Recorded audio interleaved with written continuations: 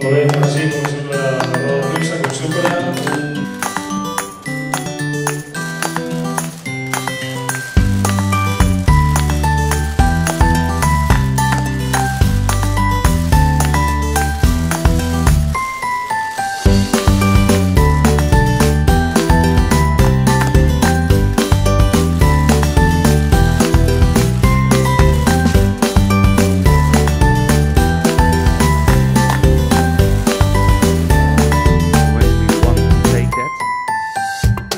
time now to talk with the, the football people in the club.